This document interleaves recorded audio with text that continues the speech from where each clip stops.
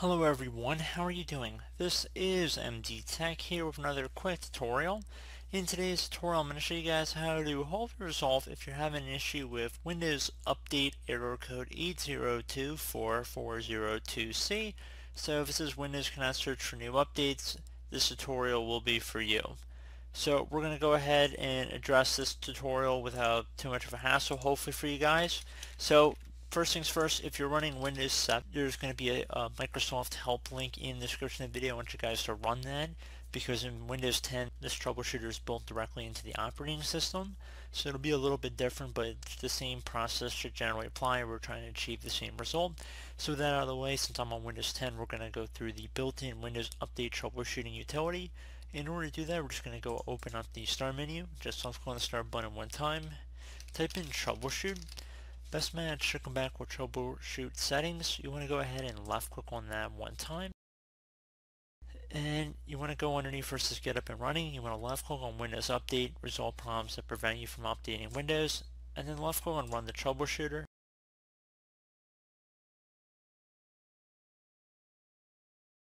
So if you're running the utility from Microsoft, it should be a pretty similar process. I've already run this utility a little while ago, so it might not pick up on anything, but hopefully it'd be able to if you were having any issues on your computer, and hopefully that's probably why you'd end up on this tutorial. You're probably not just watching it just to watch it. So, I mean, of course, unless you're subscribed to the channel or whatnot. So, like I said, it might not have been able to identify the problem. Hopefully in your case, if it did, just follow along whatever it suggests again and I also would suggest following that up with restarting your computer and hopefully it's resolved the problem. If you are still experiencing a problem, another thing we can go ahead and try would be to open up the start menu, type in run, R-U-N, best match should come back a run, left click on that, in the open field here you want to type in ncpa.cpl Again, ncpa.cpl and either hit enter on your keyboard or left click on OK. This should open up the local area connection status and whatever network is currently in here. So you guys might have various network options. You just want to select whatever your current network is. So whether it's Ethernet or Wi-Fi, doesn't really matter for the purpose of this tutorial. You want to go ahead and right click on it and then left click on properties. Versus Internet Protocol version 4 you want to left click on that and then while you have this selected you want to left click on properties. So if you're using some funky DNS server you want to go to select obtain DNS server automatically as well as obtain an IP address automatically.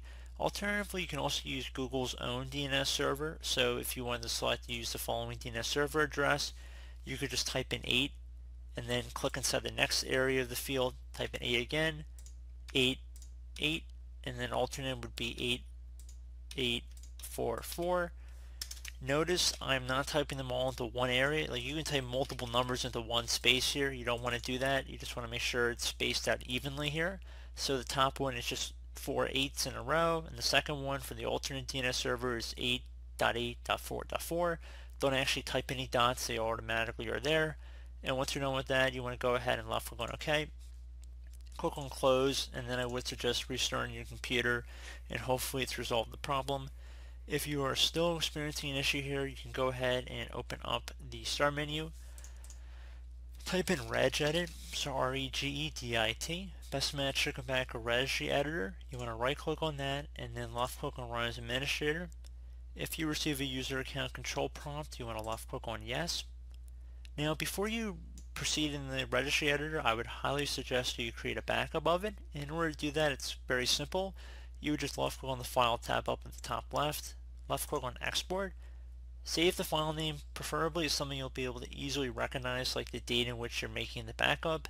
Make sure export range is selected at all and then save it to a convenient location you'll be able to access if you ever need to go back to the previous version of the registry.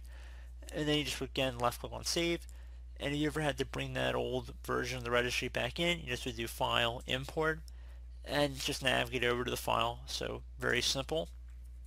So with that out of the way, you want to go ahead and expand the HKey local machine folder. So either double click on it or left click on the little arrow next to it to expand the selection. And then you want to do the same thing for the software folder. Go down to policies and expand that one as well. Expand Microsoft Now you want to expand the Windows folder. Go down to Windows Update, expand that one as well. And now left click on the AU folder in here. So you can see the path that we're following on the top of the registry editor right here. And please keep in mind if you do not see a Windows Update folder or an AU folder, you always just right click on the Windows folder here, left click on New, and then just select Key and call it Windows Update with no spaces. And then once you've created the Windows Update folder, you can just right click on Windows Update, left click on New, and then select Key, and you would just call that AU. So once you've done that, now on the right side, you want to go ahead and set a use WU server. So if you don't already see one here, you just want to right click in a blank area, left click on New, and then left click on dword 32-bit value. You're going to call it like I have right above it. So use WU server, no spaces, and the U in use, WU and the S in server should all be capitalized here. And then you just click to save it.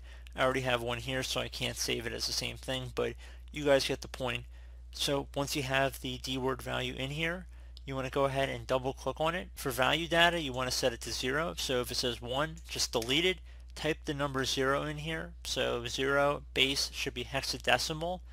And left click on OK. Once you're done with that, you should be able to just close out of the registry editor. Again, if you didn't see the Windows Update folder or the AU, like I showed you guys, just create it. It's very simple. You can rewatch the video 100 times if you want to. You saw me do it. So close out the registry editor, restart your computer, and hopefully that should be able to resolve the problem. So as always, thank you guys for watching this tutorial. Do hope I was able to help you out, and I do look forward to catching you all in the next tutorial. Goodbye.